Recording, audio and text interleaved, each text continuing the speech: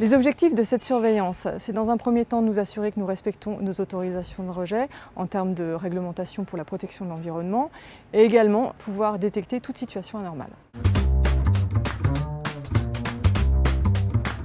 Au quotidien, je vais avoir pour mission euh, le pilotage des sous-traitants euh, qui sont internes et externes, c'est-à-dire nos laboratoires, les laboratoires externes et également nos prestataires qui réalisent les prélèvements. J'ai également donc en charge euh, l'interprétation et euh, la gestion des données euh, de la surveillance. Donc nos préleveurs sur site sont en charge de prélever des végétaux, de l'eau de pluie ou encore des filtres sur lesquels les poussières atmosphériques sont venues se déposer.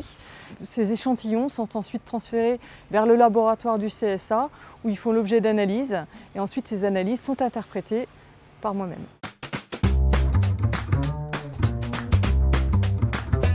Travaillé 5 ans au bureau d'études euh, pour tout ce qui était rédaction de dossiers ICPE. Au bout de ces 5 années, j'ai intégré euh, l'ANDRA. J'étais en charge euh, de la mise en place d'une base de données, ce qu'on appelle la base de données désirée, qui est actuellement utilisée pour le recueil de l'ensemble des résultats de la surveillance radiologique et physico-chimique des CI2A et du CSM. Au bout de 6 ans, et suite à la réorganisation du service, j'ai pris en charge la surveillance radiologique du CSA.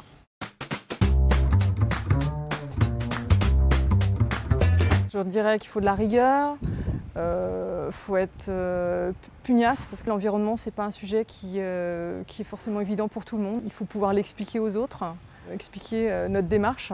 Il faut également de la transparence et puis de l'éthique aussi.